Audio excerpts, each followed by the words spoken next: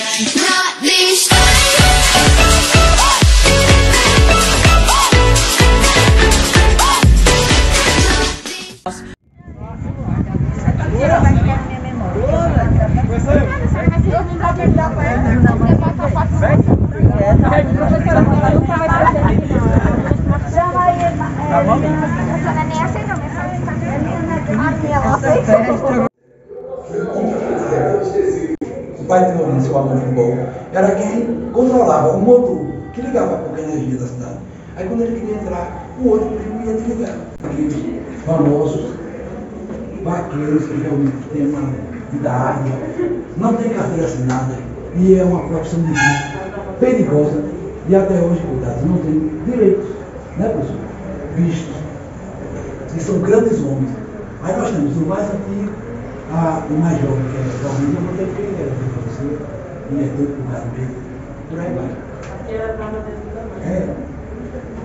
Olha, isso é.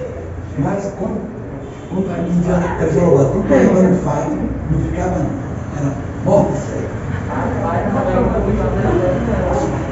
Manda muito. Eles criaram a lenda através de uma música que até envolve um francês, Joubert, a música. Aquela Jerônimo, de Maria do Caboclo apaixonado, um malandro francês que ajudou a fazer a melodia e a letra. E o Chico Gato, supostamente, era um Chico que trabalhava com os SAS, era vaqueiro, mas daquele vaqueiro preguiçoso, beberrão. E ele lá, malandro, vamos botar o Chico, Chico. E por que gato? É que quando esse vaqueiro se bebedava, ele chegava de madrugada pelo, aí ia procurar nas panelas de sula, a época. Aí sua, este gato da peste, para ver o gato. Aí Chico gato. Mas nem todo mundo conhece o Chico. Gato era ele lá na casa dele. O Chico gato que roubava, não era só Chico. Ele lá, bem malandro, não faltava o Chico gato como o herói, o vaqueiro. Era lá mesmo, bebo velho. Agora, só que a história é lenta. E ponto final. E aquela igreja, aquela igrejinha, não se sabe a construção dela, não tem conte. Nem Padre Francisco, nem ninguém. Por quê? Se investiga que na época dos tropeiros, tropeiros era o que hoje é um comerciante rico, Antônio Lima, não sei quem. Antigamente eles andavam a cavalo, com aqueles baús cheios de mercadorias vendendo.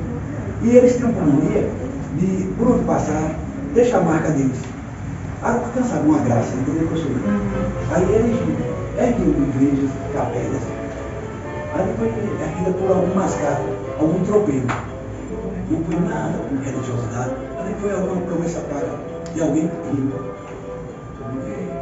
Tropeiro, sabe, dessa maneira, fazem capelas, por onde eles passam. E aí, Ramon, o que você achou do nosso é, Museu de Animal? Eu achei muito legal, muito interessante, porque tem peças que ainda minha avó, o meu avô, meus bisavós ainda tem na casa deles. Eu achei muito interessante mesmo. E você acha que isso é importante para a nossa cidade?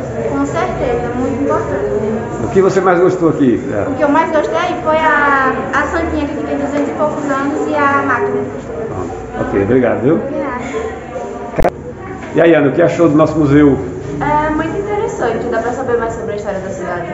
É. O que você mais gostou? Eu acho que do quarto que mostra coisas antigas, das chaves, da máquina de escrever e Já- do piano, é muito interessante. Você já tinha vindo aqui outras vezes? Não. Não?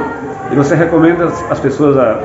É muito interessante, dá pra saber bem mais da cidade, ver coisas antigas, matar curiosidade sobre como funcionam as coisas. Ok, obrigado, viu? E você? É que você.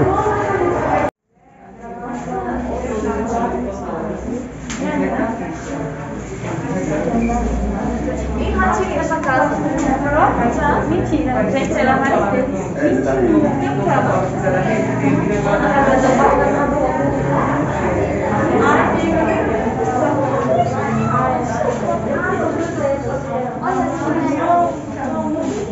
Então vocês podem pegar à vontade, se precisar pegar, só não pode pegar no só Breno. João Breno. E aí, João, a primeira vez aqui? Primeira vez. Tá achando? Tô achando legal, muito bonito. Você acha importante uma cidade ter um museu desse? Achei, isso mesmo. Muito importante. Deveriam quase todas as cidades terem, que eu acho que muitas ainda não têm. Verdade. Valeu, João.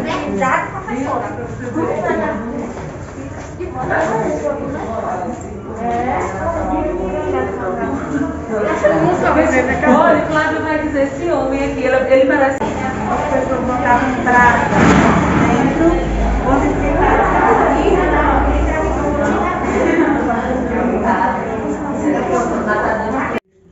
é, cantinho de água, como as pessoas antigamente levavam água, cancas de boi, que era dos carros de boi que transportavam rapadura, que era o único transporte que tinha, era carro de boi. E a mansa não sabe, Flávio, quem me lembrou um desse, professora, foi alguém, me, me lembrou com a saudade, que eu viajei. Alguém da espadoada veio e disse, você precisava ver o amanhecer da espadoada, a fabricação do beiju, as pessoas acordando para fazer a sua comida. Que hoje vocês têm tudo na mãozinha. Antigamente tinha que acordar para fazer. O café, o beiju, o pão, os engenhos trabalhando. Aí ela dizendo o cheiro da cana, o cheiro das rabaduras. Eu digo, "Ei, devia ser uma coisa fantástica. Que pena. É realmente romântico, né? Uma coisa assim. Vocês vão ver as principais famílias cerimônias. Os nomes. Obrigado pela visita.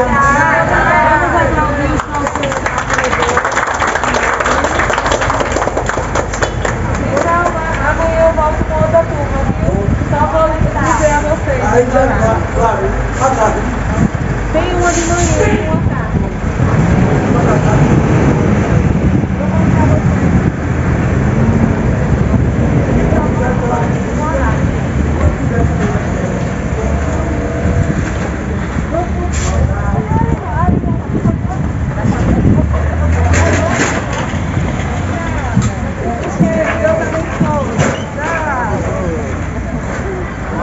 Valeu, obrigado aí vocês. Obrigado, professora.